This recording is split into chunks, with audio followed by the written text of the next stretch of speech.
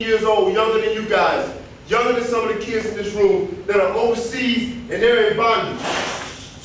They're in bondage. You know why I got these right here? Because if King Kong sells drugs, we'll put him in jail. And if King Kong associates with anybody with drugs, we'll put him in jail. We got plenty of these right here. See, our ancestors came over here and they built this country. And this is how they came in chains. So I never ever want to see any young kids like this in chains. You know why? Because if you do drugs and you associate with drugs, that's what's going to happen to you. Yesterday, at 5 o'clock in the morning, I took a kid's father away. He was 13 years old. He lives right here in Orlando. Some of you guys might know him. But I took his father away. His father's going to go away for 10 years. He's 13. When his daddy gets out of jail, he's going to be 23 years old. He's going to be a grown man.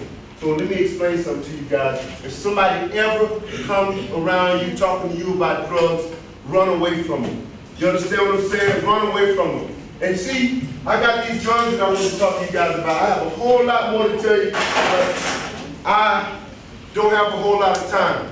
I got these guns. I have a gun on my side right here. Just this week, at the beginning of the week, a young boy, not even 16 years old, was killed because he was playing with a gun. And see, this is an unloaded gun. Right here, this was covered. No, empty weapon. Empty weapon. This is a Glock 40. 50 Cent, Too Short, all of them talk about Glock 40. Okay, I'm the only one in this room professional enough that I know of to carry this Glock 40. I'm the one. Right?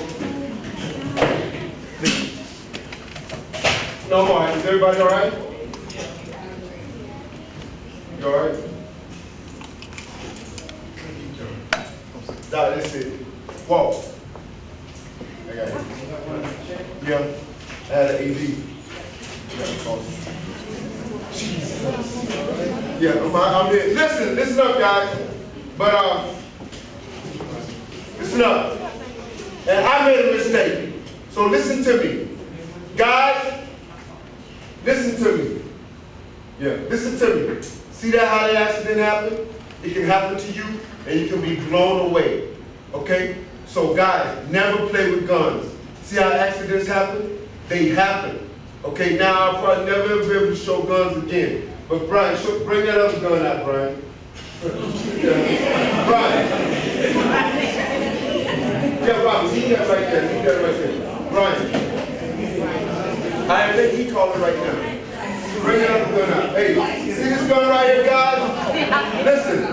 See this gun? Look. Hey, hold on. It's empty. It's an empty weapon, guys. Don't listen.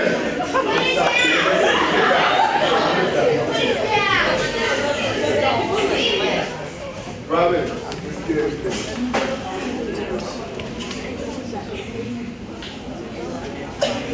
Hey, Robin, just get my stuff.